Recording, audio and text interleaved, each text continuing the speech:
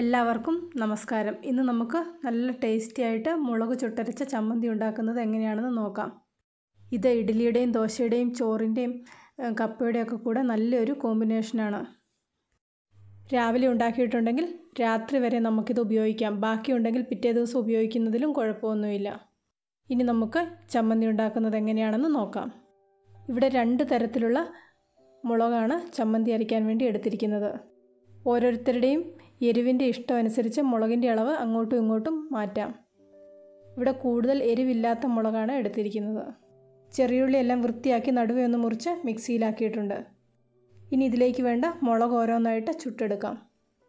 ഞാൻ ഇതുപോലെ ഗ്യാസ് സ്റ്റൗവിലാണ് ഇത് ചുട്ടെടുക്കുന്നത്. തീ ഒന്ന് കുറച്ചിട്ടതിന് ശേഷം വേണം ഇതൊന്ന് ചുട്ടെടുക്കാൻ.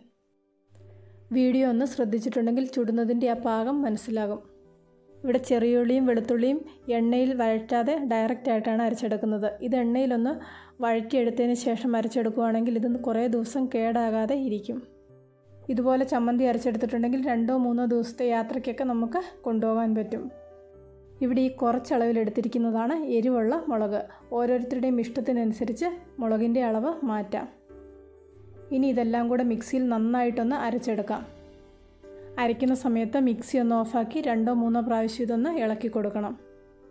ഇതുപോലെ മുളക് ചമ്മന്തി അരയ്ക്കാൻ അറിയാത്തവർ ഇതുപോലെ ഒരു പ്രാവശ്യം അരച്ച് നോക്കുക. നിങ്ങൾക്കിതിന്റെ ടേസ്റ്റ് നന്നായിട്ട് ഇഷ്ടപ്പെടും.